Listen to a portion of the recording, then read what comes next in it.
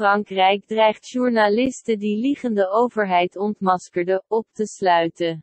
Drie Franse journalisten riskeren een maximale gevangenisstraf van vijf jaren omdat zij documenten onthulden die bewijzen dat hun regering loog. Uit geheime militaire stukken zou blijken dat functionarissen in de top van de Franse regering tegen het publiek gelogen zouden hebben over de Franse rol in de oorlog in Jemen.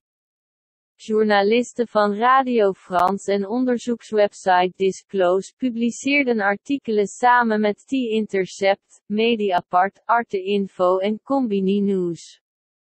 Daarin wordt gesteld dat het grootste deel van de militaire uitrusting die door Frankrijk, Groot-Brittannië en Amerika aan Saoedi-Arabië en de Verenigde Arabische Emiraten is verkocht door deze landen wordt gebruikt om oorlog te voeren tegen Jemen. De artikelen zijn gebaseerd op een geheim document, opgesteld door de Franse militaire inlichtingendienst. Uit het document blijkt dat de Franse overheid loog over haar betrokkenheid bij het conflict dat het leven kostte aan tienduizenden burgers en een hongersnood veroorzaakte waardoor minstens 85.000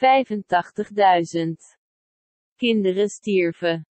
Frankrijk wilde deze informatie geheim houden en was woedend toen haar rol uitlekte. De betrokken journalisten werden vervolgens ondervraagd door de inlichtingendienst maar weigerde vragen te beantwoorden. Frankrijk dreigt de reporters achter de tralies te gooien. De journalisten denken dat de regering hiermee een voorbeeld wil stellen.